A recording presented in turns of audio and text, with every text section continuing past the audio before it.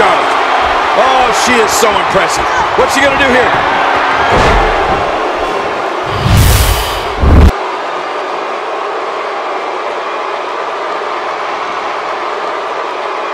And here we see it from this angle. Oh my gosh, looks even worse from here.